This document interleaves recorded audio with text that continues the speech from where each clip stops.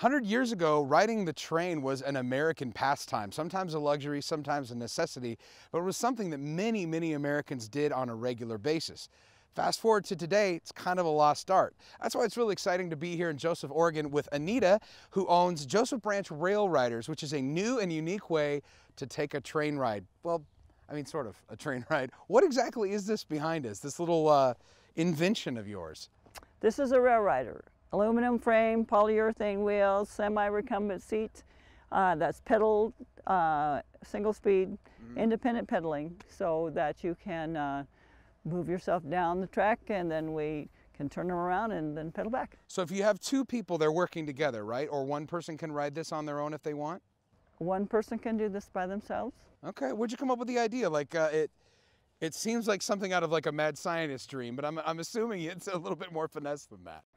So my husband and partner, that's his mad scientist creation. Okay, he's the mad scientist, all right. But it, basically he found this idea, a mm-hmm. similar idea on the internet, and since then he has embellished it and refined it. We have some improvements from last year. So how long is the ride? Like if I hop on this contraption of yours, how far am I going?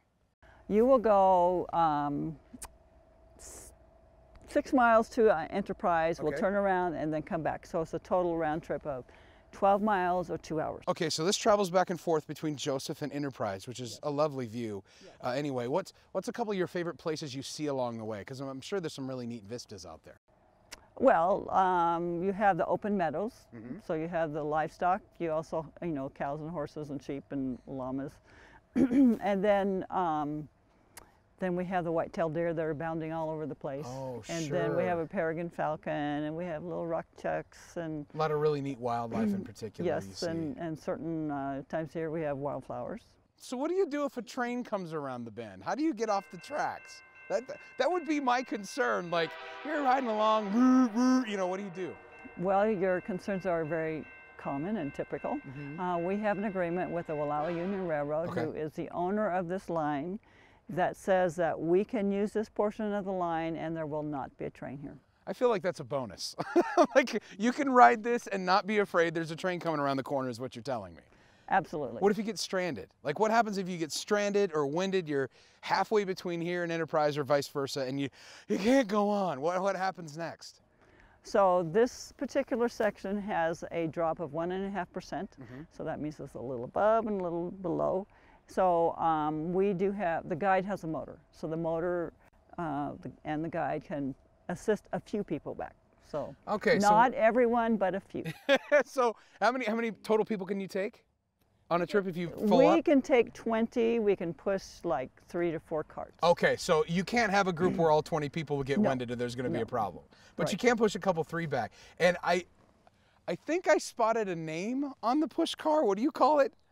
Uh, Mustang Sally. Mustang. So if you get stuck on the Joseph Branch rail ride, you can get pushed back home by, by, by Mustang Sally. That's kind of a win. So here's what's really cool. Anita has agreed to take us on a ride here at Joseph Branch Rail Riders. And I, I don't know if we're going to make it all the way to Enterprise or not. Uh, I think we have a, a couple that's going to join us as well. And we're just going to go take a, a ride uh, all the way between here and Enterprise, and you get to come along.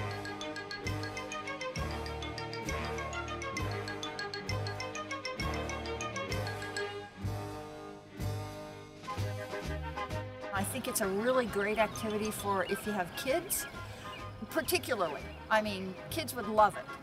And uh, it exerts a little energy so they sleep better at night. You gotta go. Got to go. Yeah, it's well it's, worth it's it. It's a touch of the real Pacific Northwest.